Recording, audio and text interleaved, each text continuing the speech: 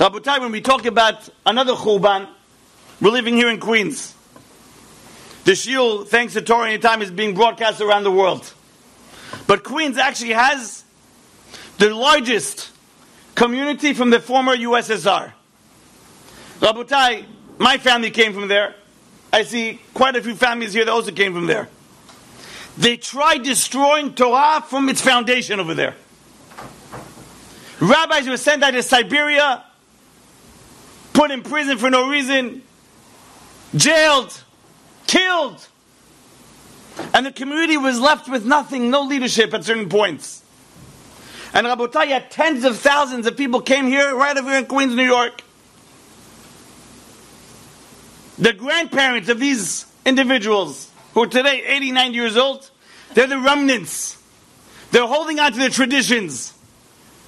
But as we're losing them, after 120, the next generation and the second generation and the third generation, next thing you know, Rabotai, there's nothing left. Like the previous speaker mentioned, Rabbi Rechimi, you have people going to public school system, and what are they doing to our kids, Rabotai? They're plowing any tradition that they have, any connection to Torah that they have, they're plowing it. They're getting rid of it. They're putting into these six, seven year old children all this contamination. And there's almost no chance to get them back, Chad Shalom. Because they're becoming, they're living this lifestyle. Rabotai, when we're talking about right over here, just down the block, 1,800 public school kids are Jewish. Right down the block. Two blocks further, another 700. A few blocks there, 300. We're talking about thousands just in this neighborhood. Rabotai, it's our achrayut to really try to see what we could do to save these children. Shimon and his brother Reuven, they were public school kids from his community. Today they're spreading Torah around the world in an unbelievable fashion. Two public school kids. Their mother is here, their father is here, there's a chut. They have some sort of zechut. The Rabotai, who knows how many other Shimon and Reubens are in Forest Hills High School right now? One of Chazak's main mission. People think Chazak is a lecture organization. Yes, you see us doing a lot of lectures. We do lectures every single night of the week, basically. Baruch Hashem, people come, they come live, they watch. But Rabotai, our main mission really is to save these public school kids before it's chas v'shalom too late. B'li and I have to say, we have an unbelievable staff. We went from five locations for children, we're now up to 13 locations for children in public schools.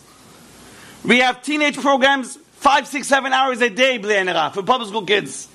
As I speak, there's 20 kids and staff in Israel, kids from public schools in Israel for Tisha B'Av. And Rabotai, in the past five years, we're able to put over 1,200 kids, take them out of public school, put them into yeshivot. These are unbelievable numbers. But Rabotai, we took out 1,200 in the past five years, but another two, 3,000 came in during that kufa. So we got to start saying, Rabotai, it's not just about, oh, it's your community's problem. This is an Am Yisrael problem. Rabotai, anyone that can get involved, you want to create more Shimons and more Rubens? Like Rabbi Rechimi mentioned before, his students today, some of his students that were from our program, the chokhmah that they have in the Chot Shabbat, unbelievable. They come to my shiur, and I, I, don't want them to come. They're, they're, questioning me. I don't have answers. But I say, Rabbi Rechimi, take them back.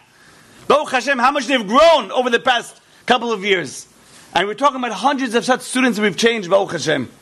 But Rabotai, let's, let's take that message of Balak.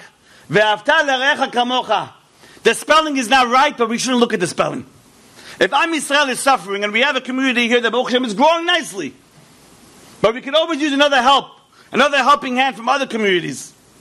So if you could get involved, Rabotai, if you're watching us live, or if you're here live, you can reach out to Rabbi Aboff, who Rabotai really deserves a tremendous round of applause. You don't realize what Rabbi does to put together, how many speakers here today? About 18, 19 speakers. You have to realize, all of us changed time slots at least three or four times. At least I did. Right? And he keeps trying to figure out how to maneuver things. Mamash, unbelievable. I would say, honestly, Chazak's events wouldn't be what it is if it wasn't for Rabbi's hard work. Anyone that wants to help out with the public school programs, reach out to Rabbi, reach out to myself, reach out even to Shimon, he'll introduce you to, my, to myself. Whatever it may be, Rabotai, we have an opportunity to save these kids while the remnants of the building are still here because the public school system is right now plowing them away, chas v'shalom, away from Torah and mitzvot. Yeratzon this year should be the last Tisha B'Av where we're fasting. It should be the last Tisha B'Av where we have to mourn the destruction, and we should b'ezrat Hashem be Zocheh that next year we're going to have a Tisha B'Av in Yerushalayim, Kodesh, with the Binyan Bet HaMikdash, with the coming of Mashiach Tzidkenu, B'mera B'Yamenu, Amen v'Amen.